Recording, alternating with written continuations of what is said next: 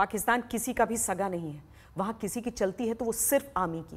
خبردار میں، اب ہم پاکستان کے فرضی لوکتنتر کے فکس الیکشن کا وشلیشن کریں گے، جسے پاکستانی سینا نے پہلے سے ہی طے کر دیا ہے کہ کس کی سرکار بنے گی، کون پردھان منتری ہوگا، کون چناؤ لڑے گا، کون نہیں لڑے گا۔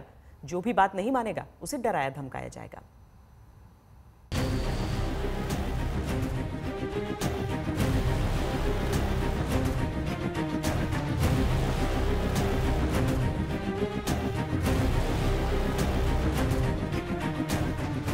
مجھے بلایا وہاں پر آرمی کے آفس میں مجھے کہا جی آپ الیکشن نہ لڑیں میں نے کہا جی میں ملک کا شہری ہوں میں الیکشن لڑوں گا صرف عوام کی خدمت کے لیے۔ مجھے نے کہا جی آپ کا کاروبار تباہ کر دیں گے آپ کا گھر برباد کر دیں گے آپ کے ماں باپ کو نقصان پہنچائیں گے۔ میں نے کہا سر میرا قصور کیا ہے؟ میرا کیا قصور ہے؟ مجھے بتا ریڈ میں انہوں نے کیا کہا آپ کو؟ صحیح ریٹ میں یہ مجھے ایسا تھپڑ مارے ہیں۔ یہ ہے پاکستان کے اس چناؤ کا سچ جو پچیس جولائی کو ہونے والا ہے۔ کسی اور کے لیے جگہ نہیں، کیونکہ پاکستان کی سینا نے اپنا پیادہ پی ایم پہلے ہی چن لیا نام ہے عمران خان، جن کے لیے الیکشن ایجنٹ پاکستانی سینا کے جنرل بن چکے ہیں۔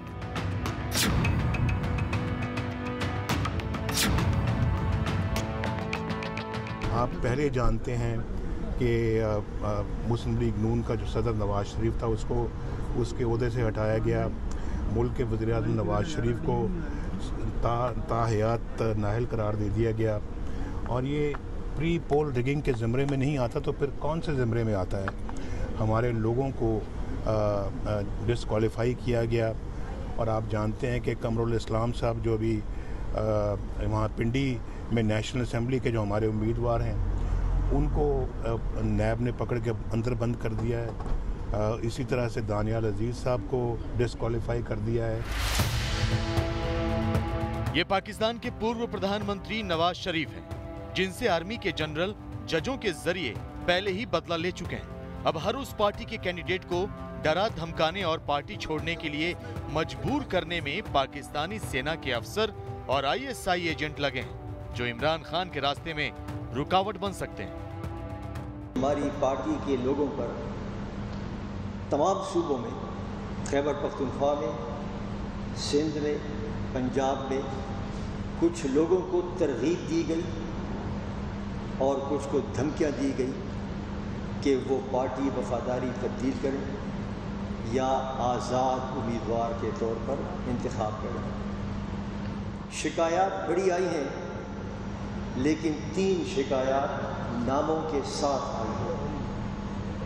ڈیرہ اسکوئی خان سے ہماری پارٹی کے صوبائی جنرل سیکرٹری نے باضابطہ طور پر ہم کو لکھا کہ وہاں پر سیکیورٹی ادارے کے کرنل صاحب، جن کا نام کرنل مغیث ہے، انہوں نے لوگوں پر دباؤ ڈالا ہے۔ کرنل مغیث۔ سندھ میں کرنل عابد علی شاہ کا نام دیا گیا ہے اور سندھ بدین میں میجر شہزاد کا نام دیا گیا ہے۔ اور اس کے علاوہ اور بہت سارے ہیں یہ کہ ہم ہمارے پاس باضابطہ طور پر آگے ہیں۔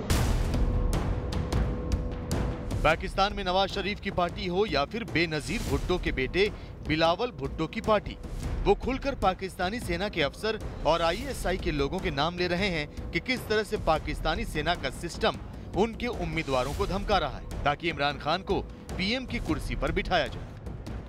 جو شفاف الیکشن اور کرپٹ قیادت کے خلاف مہم بھی چل رہی ہے۔ سر نواز شریف کا تو پتہ جو ہے تقریباً صاف ہوتا جا رہا ہے زرداری پہ بھی گھیرا تنگ ہو چکا ہے۔ تو سر لگے ہاتھوں عمران کا بھی کچھ کر لیں بعد میں اس ناسور نے بھی چھوڑنا نہیں ہے کسی کو۔ اوکے۔ عمران خان پاکستانی سینا کے نئے لاڈلے ہیں جن کے لیے وہ پورا زور لگائے۔ پاکستانی سینا نے اس الیکشن کو عمران خان کے لیے فکس کر دیا ہے۔ ساڑھے تین لاکھ کے قریب فوج الیکشن کے لیے لگا دی ہے۔ ہر پولنگ بوتھ کے اندر تک دو دو پاکستانی سینا کے جوان تینات رہیں گے۔ تھپوں کی تیاری ہو چکی ہے۔ یہ بات ٹھیک ہے کہ ہر انتخاب پہ اعتراض اٹھتا رہا ہے، لیکن زیادہ تر انتخابات میں یہ بھی اعتراض اٹھتا رہا ہے کہ فوج نے الیکشن میں دھاندلی کی، جیسے کہ ضیاء الحق کے زمانے میں، جیسے جنرل مشرف کے زمانے میں۔ ایسا ہوا ہے۔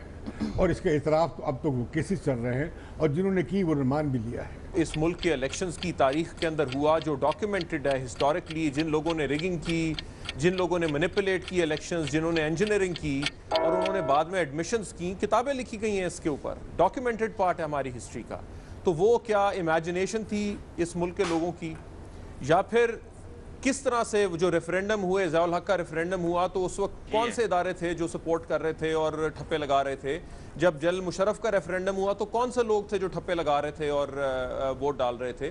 یا اس ملک کے لوگ نکلے بار اور کسی خوف و خطر کے بغیر وہ گئے اور انہوں نے یہ ووٹ ڈالے؟ اس کے بعد جو پری الیکشن ریگنگ ہوتی ہے اس کے یہ بھی ڈاکیومنٹڈ چیزیں دنیا میں کہ کس طرح کی جاتی ہے۔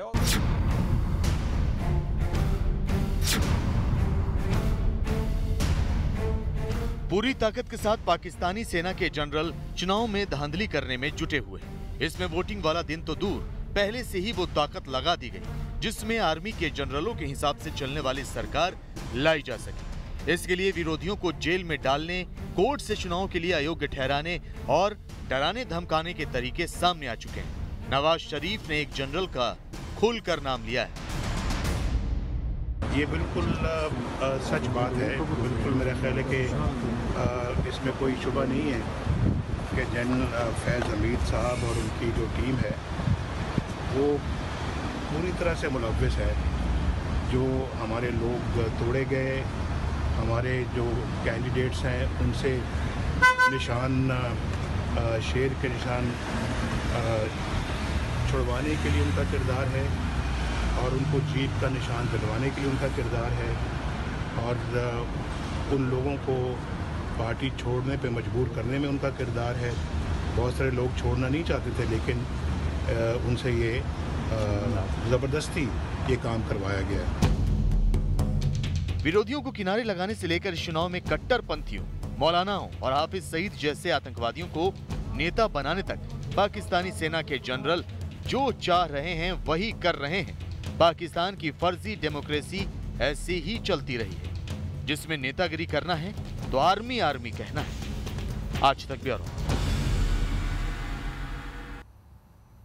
پاکستان میں عمران خان وہاں کی آرمی کے نئے لاڈلے ہیں، جنہیں کسی بھی قیمت پر پاکستانی سینا نئی سرکار میں بٹھانا چاہتی ہے، کیونکہ اسے لگتا ہے کہ عمران خان کے ذریعے آرمی کے جنرلوں کی وہ من مرضی چلے گی، جو من مرضی دوسری پارٹیوں کی سرکاروں میں چلتی تو ہے، لیکن اتنی نہیں جتنا وہ چاہتے ہیں۔